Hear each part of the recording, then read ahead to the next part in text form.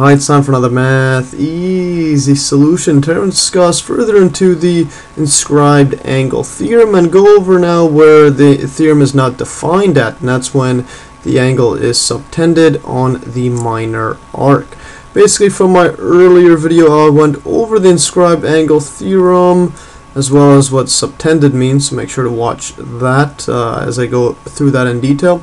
Basically, to recap, the inscribed angle theorem or central angle theorem states that the angle inscribed in a circle is half of the central angle that subtends that same arc on the circle. And this relation holds if the angles are if the angle yeah are, are the angles are subtended on the major arc. So for example what this means is basically if there's three cases I'll go over the uh, the case 2, I'll go over the case 1 in a bit, uh, basically because case 2 is the more common one. So if you had, let's say, two points like this, and now you have an angle subtended. So this bit, this is just a visual representation of what subtended means. So this angle is, is uh, theta, and now if you have the central angle, which is the center of the circle here, and now subtended by these same two points, this angle across is going to be 2 theta. But this is only if the uh, if this relation only uh, holds if the angles are subtended on the major arc. So in this case, when you have these two points, so then you're always going to get a major arc, which is the larger of the arc. So that's major, and then the minor one is across like this. This is the minor arc. And now there's three kind of cases which I used in the proof. So case one now is when one of these chords goes through the center and forms the diameter. So it's like this. So if you have something exactly like like that, so this is our angle theta. And now that the central angle subtends on these two points, like this, this is going to be 2 theta. I did this case because I'll use this case 1 in our proof of uh, basically the relation we get when we deal with the minor arc. So when I say minor is instead of being suspend sus subtended across on this major one, instead it goes to the minor one like that. And in this case we have an angle uh, theta for just to make, write it differently than theta. And that's the relation we're going to need to find out.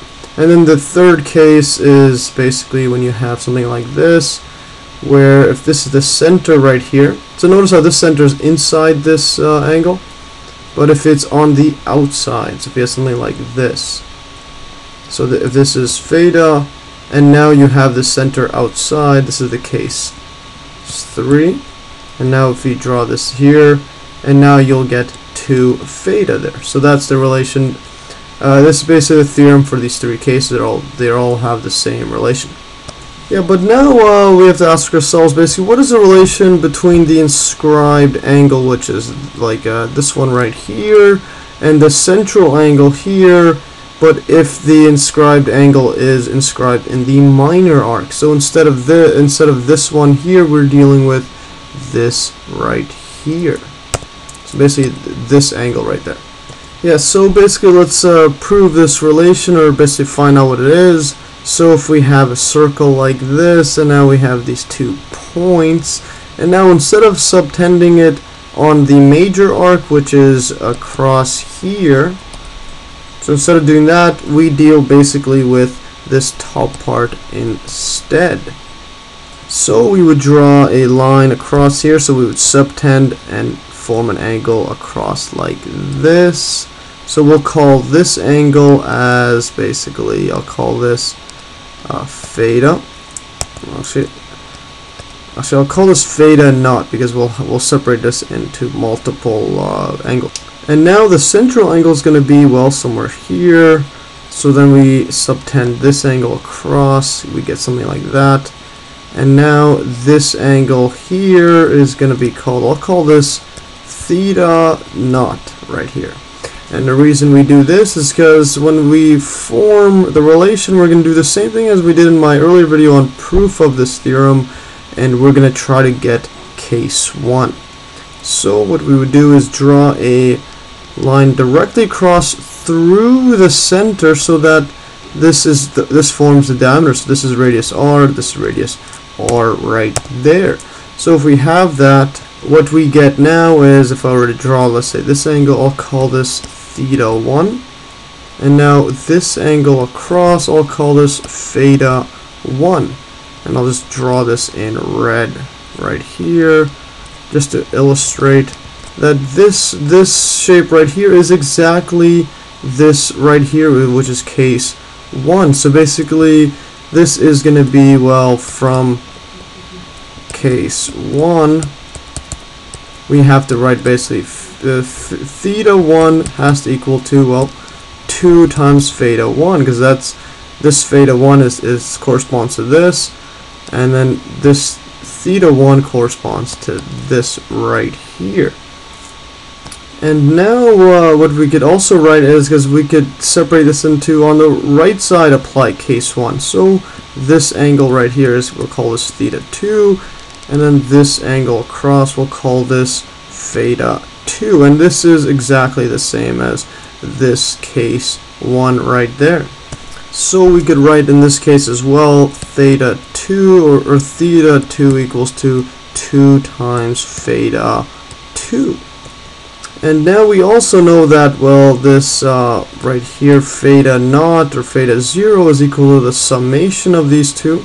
So this equals to theta 1 plus theta 2 and now this case right here we know that well this add, they add up to 360 so 360 degrees is equal to theta 0 plus theta 1 plus theta 2 and now we could apply these relations inside and we'll get basically uh, theta 0 is equal to 2 times theta I mean is plus 2 times theta 1 plus 2 times theta 2. So we got these terms. we could also do is factor these two out of there. So theta naught or theta 0 plus 2 times by theta 1 plus theta 2. And these basically equal to, to uh, theta 0. So this equals to uh, theta 0 plus theta 2 um, plus 2 times uh, theta uh, 0.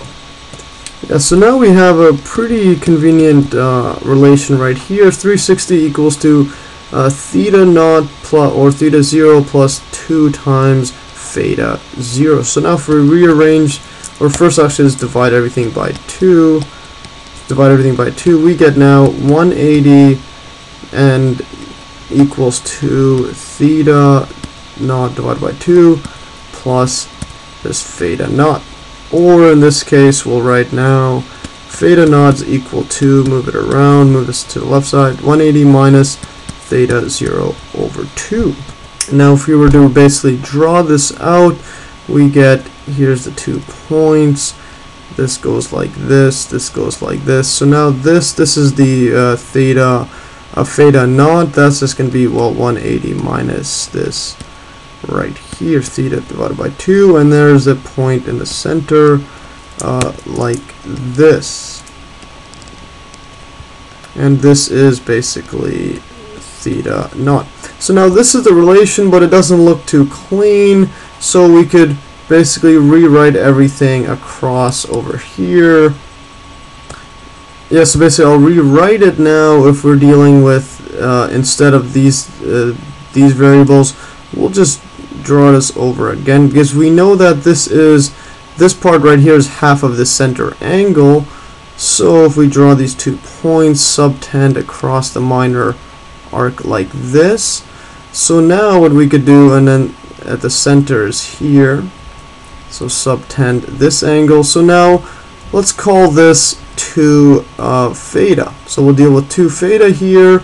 And this part right here because this is 180 minus uh, theta over 2.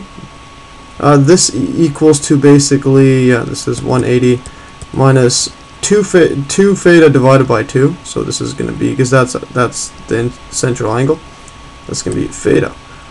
Or basically if I erase this and rewrite it, and now if we extend this on further, this is just theta.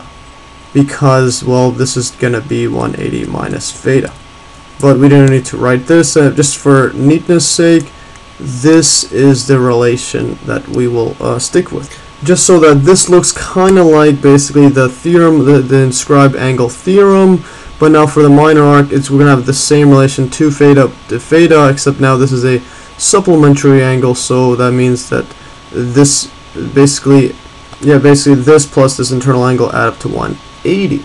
So basically that's all for today. I just wanted to show that. So now we have a very similar relation. There's a 2 theta, theta, 2 theta, theta, 2 theta, and theta, but now this is on basically if you draw, if you extend this further, because here is 180 minus theta. Anyways, that's all for today. If you learned from this pretty uh, extensive example on, or this uh, extensive uh, video on inscribed angles, and also make sure to watch my earlier video on inscribed angle theorem. Anyways, thanks for watching. Like always, you can download these exact notes in the link below, and stay tuned for another math easy solution.